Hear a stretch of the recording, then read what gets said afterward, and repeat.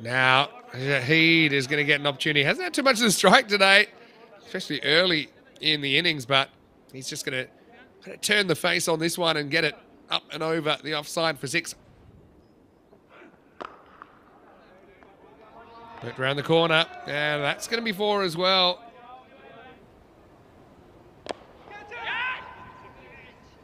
All right, well, that one is hanging up in the air. But again, it's going to disappear. He faced safe for six, but he's not facing right now. Shahid, he's going to pump it for six. What a shot. Here goes large. Maximo.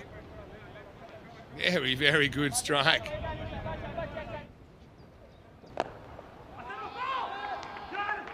Turn around the corner, and uh, that will run away for four as well. So Shahid getting into his work. And he goes straight and goes really well here, Shahid. That's pretty as a picture, that shot. Maximo, seis carreras. I'm having to build a big score that gives him an opportunity to take all four again. Now Shahid kind of throws the hands, gets the gap, gets four more. He's into the 40s. Now this is helped round the corner, and that's going to be four.